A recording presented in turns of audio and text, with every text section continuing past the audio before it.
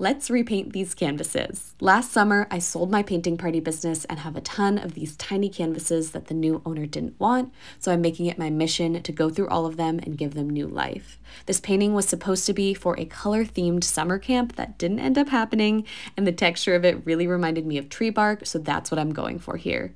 I used to have a tree that peeled like this in my backyard growing up, and I loved it so much. I swear Mother Nature is the best artist I know, and I think this was quite an improvement.